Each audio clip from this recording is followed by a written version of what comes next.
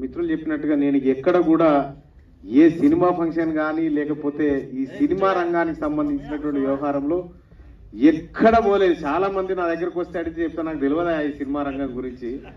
ఎక్కడన్నా న్యూస్లో విశ్లేషణ చేయాల్సి వస్తే కూడా నేను ఎవరన్నా సపోర్ట్ తీసుకుంటా. నాకు తెలియదు వాస్తవానికి కూడా.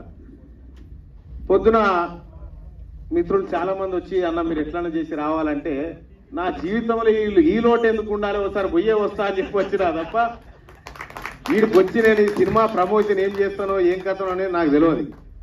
మీరంతా కష్టపడ్డోళ్ళు మీరంతా ఈ సినిమా నిర్మాణం వెనుక ఉన్నోళ్ళు. ఒకసారి ఎవరో గబ్బర్ సింగ్ సినిమా వాళ్ళు ఎవరో ఫోన్ చేశారు నాకు. ఫోన్ చేస్తే ఏం హీరోస్ అని నేనన్నా? అంటే ఏందన్నా మమ్మల్ని హీరో అంటే సేర్ సారు కదా హీరో అంటే వాస్తవానికి కూడా విలన్ లేకపోతే హీరో ఏడు ఉంటాడు ఇక హీరో ఈయన హీరో అని చూపించాలంటే వీళ్ళని ఉండాల్సిందే. కాబట్టి వీళ్ళే హీరోలు అని చెప్పి చెప్పేటది లేదు.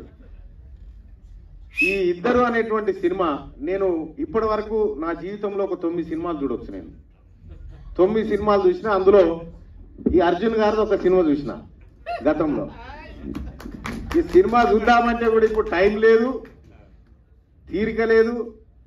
ఎప్పుడన్నా వాళ్ళు మా వాళ్ళు ఎవరన్నా సినిమా మంచిగా ఉందని పంపిస్తే మొన్న ఎవరు? మన రామ్ గోపాల్ వర్మ గారు కొండా మూవీ చూడమని చెప్పి అంటే సరే అని చెప్పి మా వాళ్ళని తీసుకొని పోయినా కొండా మూవీ చూస్తాను.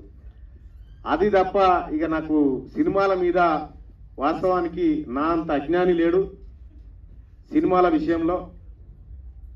కానీ ఈ లోటు కూడా ఉండకూడదు కొంచెమన్నా తెలుసుకోవాలి కదా మనిషి అందుకు అని చెప్పి ఇక్కడ రావడం జరిగింది. నన్ను ఆహ్వానించిన మిత్రులందరికీ ధన్యవాదాలు. ఈ సినిమా గొప్పగా సక్సెస్ కావాలని కోరుకుంటా ఉన్నా. ఎందుకంటే ఒక ఏదైనా ఒక వ్యవస్థను నిర్మించాలన్నా సినిమాని నిర్మించాలన్నా దాని వెనకాల ఉండేటువంటి కష్టాలు నష్టాలు సుఖాలు ఇవన్నిటి బేరీ చేసుకోవాల్సినటువంటి అవసరం ఉంటుంది.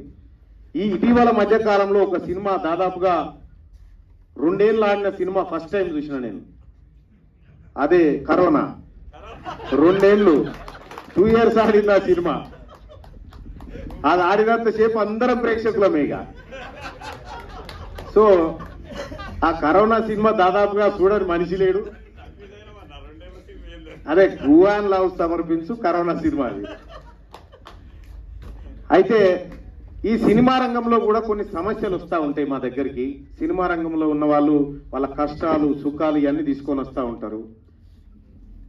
వాస్తవానికి కూడా సినిమా రంగం అనేది ఇదో ఎంటర్టైన్మెంట్ రంగము దీని తర్వాతనే మన న్యూస్ ఛానళ్ళు ఈ వ్యవహారం. ఇక ఆఖరికి ఏంటంటే ఇన్ఫోటైన్మెంట్గా మారిపోవాల్సినటువంటి పరిస్థితికి వచ్చినాయి చాలా న్యూస్ ఛానళ్ళు. మేము తీన్మార్ ప్రోగ్రామ్ చేసినా కూడా లేకపోతే ఇంకా కొన్ని చ- డిజైన్ చేసినప్పుడు కూడా అసలు ఎట్లా ఉండాలి ఏ లాంగ్వేజ్లో ఉండాలని బాగా థింక్ చేసినప్పుడు కొంత సినిమాటిక్ వేలోకే దాన్ని తీసుకురావాల్సి వచ్చింది. నాకు తెలియకుండా నేను ఎన్నో ఎపిసోడ్లలో యాక్టింగ్ చేసిన న్యూస్ ఛానల్లో. నేను యాక్టర్ అన్న సంగతి అంటే ప్రజల్ని మెప్పించడం కోసం ఒక అంశాన్ని వాళ్ళ దగ్గర తీసుకుపోవడం కోసం ఏదైనా ఏ రూపంలోనైనా తీసుకుపోవాలి కాబట్టి నేను ఆ ప్రయత్నం చేసిన. అయితే గతంలో నన్ను చాలా సినిమాల్లో యాక్టింగ్ చేయాలని చెప్పి ఫోన్ చేస్తే నేను నవ్వుకొని నాతోటి కాదనేది. ఆ వేణుమాల ఉంటుండే కమేడియన్. నాకు మంచి దోస్తు ఉంటుండే మా దగ్గరనే ఉంటుండే. అన్న రా రా రా అని బతిలాడితే ఒకసారి చూస్తాను పోయినా. అలాగే ఓ త్రిష గారితో ఏదో ఒక సినిమాలకు కొద్దిసేపు చేసిన. ఇక నాతోటి కాదయ్యా ఈ సినిమాలు అని చెప్పి సప్పుడిక నేను ఏందో నా న్యూస్ ఫీల్డ్లోకి వెళ్ళినా. అయితే చాలా సందేశాత్మకమైనటువంటి సినిమాలు వచ్చినప్పుడు ప్రేక్షకులు హత్తుకోవాల్సినటువంటి అవసరం ఉంటుంది. ఎందుకంటే భవిష్యత్తులో అవి రిపీట్ కావాలంటే ఈ వ్యవస్థను ప్రోత్సహించాల్సినటువంటి అవసరం ఎంతైతే ఉంటుందో. బాధ్యత గల జర్నలిస్టులు కూడా సినీ జర్నలిస్టులు కూడా ప్రేక్షకులు కూడా ఒక మంచి కంటెంట్ని ప్రజల్లోకి తీసుకుపోవడానికి ప్రోత్సహించాలి. తీన్మార్ మలనతో ఏమన్నా అవుతుందంటే ఈ ఇద్దరిని వెయ్యి మంది దగ్గర తీసుకుపోవడే అవుతుంది తప్ప దీనికి ఇంకేమో ప్రమోషన్ వేరే రకంగా వస్తుందేమో అని నేను అనుకోవట్లేదు. మొత్తానికైతే నన్ను ఈ కార్యక్రమానికి ఆహ్వానించరు.